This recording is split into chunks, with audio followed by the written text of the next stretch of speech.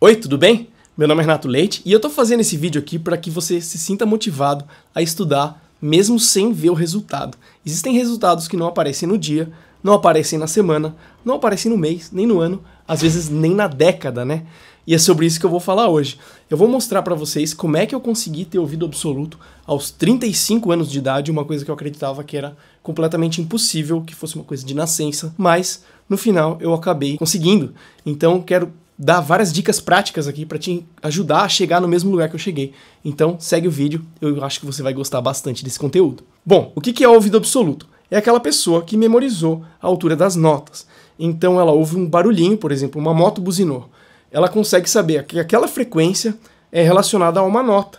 Essas notas, elas não são da natureza, né? São coisas inventadas pelo humano, né? O dó não é dó pro macaco, o dó é dó pro humano. Mas aquele cara estudou música desde cedo, então ele ouve aquela frequência e ele sabe relacionar com aquilo. As pessoas consideram que o ouvido absoluto você não consegue adquirir ele, você nasce com ele. Mas hoje em dia isso já é bem contestável, né? Eu aprendi que era genético. Eu aprendi que era um milagre, sei lá, quando eu comecei a estudar, era isso que falavam. Sempre foi possível treinar, na verdade, né? O que eu quero é tirar essa visão de que isso não é uma coisa praticável. Quem que costuma ter ouvido absoluto, né? Geralmente é quem começou a tocar desde criança o cérebro está se formando e ele está fazendo as ligações ali, né? O que acontece? A pessoa já está estudando música, então o cérebro ele já destina um espaço, ó, isso aqui vai servir para você memorizar as notas. A pessoa geralmente acaba fazendo isso e acaba colhendo vários frutos de aprender desde cedo, né? E qual é o oposto disso? É o ouvido relativo. É o ouvido que eu sempre tive.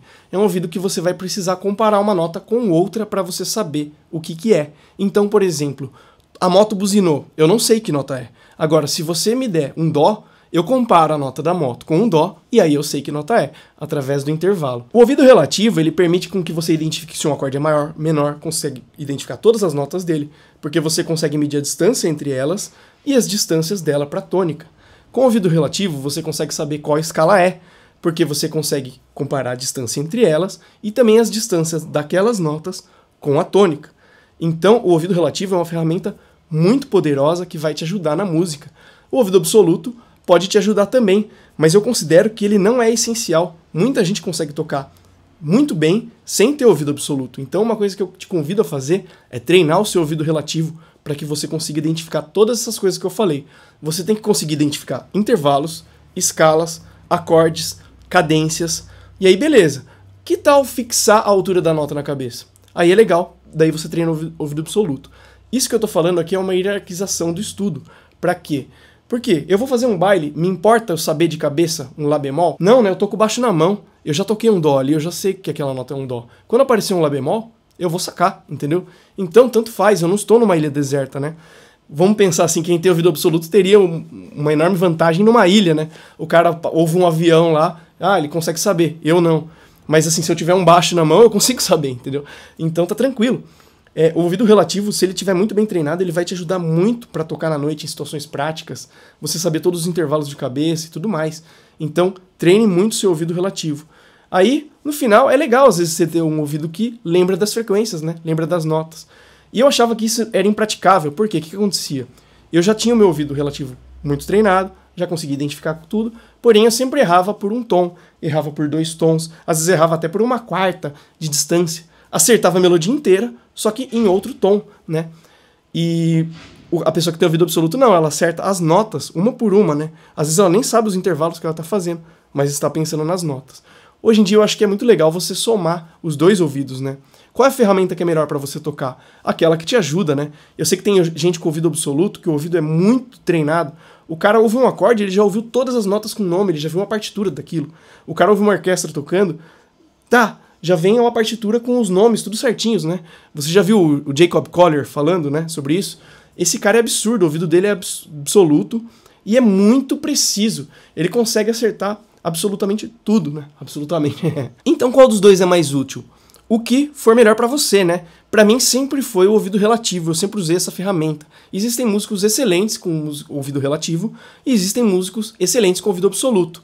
Eu falei para você que o ouvido absoluto você adquire treinando desde criança, né? Então será que os caras tocam bem? É óbvio que sim, né? Geralmente quem toca desde criança e tem um ouvido desse vai tocar bem. E aí existem níveis de ouvido, né?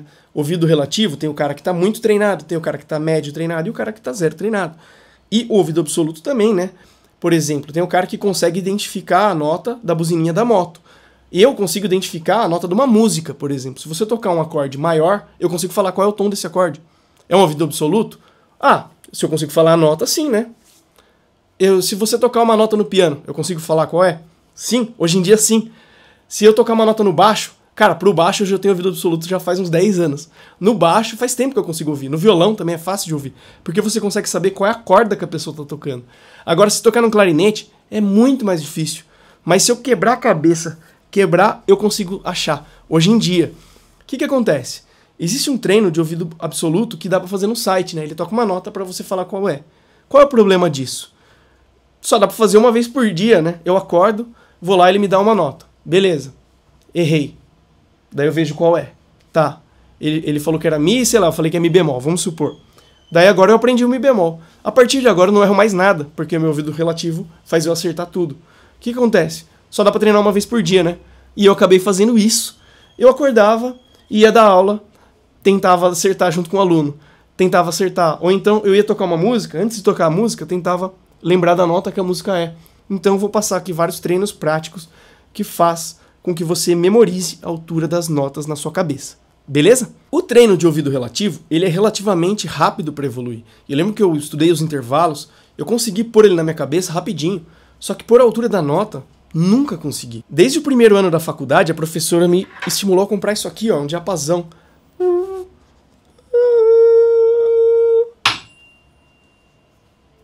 Tá certo, hein? Viu? E se eu quiser um Mi bemol? Bom, agora eu já sei o lá, eu sei todas, né? Eu fiquei bastante tempo falando, foi o suficiente para eu esquecer a altura. Mas se eu pensar, por exemplo, na musiquinha do Skype, Mi bemol, eu sei que meu Mac, quando liga, faz um Fá maior. Falando em Skype, você pode fazer aula comigo por Skype. E o meu número está aí embaixo. Eu cobro 80 reais por aula. A ideia é ver o seu caso, ver você tocando, ver qual é a sua necessidade para passar um estudo para você fazer. Beleza? Entre em contato, tá aí embaixo, propagandinha rápida. Vamos voltar para aula. Bom, então a primeira coisa que eu sugiro você fazer é uma lista de músicas. Qual é a música que começa em dó? Põe lá, dó. Qual é a música que começa em dó? Ah, eu preciso de uma música que começa em ré. Sim, põe lá, música que começa em ré. Fear of the Dark, Under Pressure, sei lá, põe uma música que começa em ré. Uma música que começa em mi. E aí põe uma em mi bemol, uma em ré bemol, uma em si, si bemol, si bemol. Que tal é, Bohemian Rhapsody? Pum. Pum. Tava certo, né? Por aí vai, beleza? Então faz essa lista, cara. Vai te ajudar muito a memorizar os sons das notas. Isso vai te ajudar a desenvolver esse ouvido, tá bom? A segunda dica é o diapasão, cara. Foi a professora Aida que deu essa dica lá na faculdade. Compra o diapasão, anda com ele no bolso. Tenta lembrar do lá. Fica. Tenta enfiar esse lá na cabeça, tá ligado? Só que hoje em dia você consegue andar com o celular, né? Você não precisa mais disso. Você anda com isso, né? E aí o que acontece? Passou a moto, buzinou, tenta lembrar das músicas. Qual música essa moto tocou?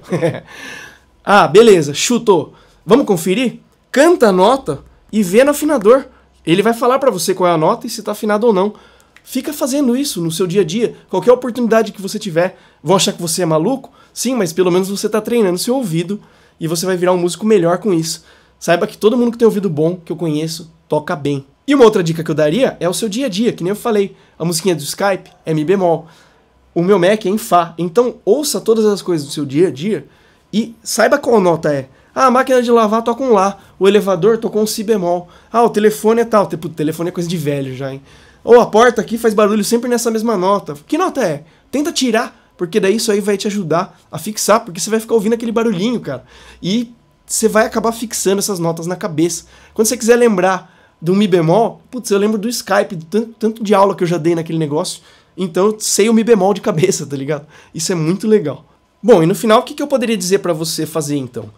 Pratique muito o seu ouvido relativo.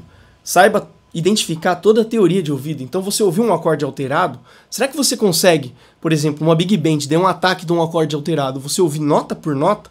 Talvez seja muito difícil para você ainda. Agora, se você identificar que é um acorde alterado, você identifica qual é a tônica e você já sabe todo ele. Você já sabe qual a escala aplicar nele.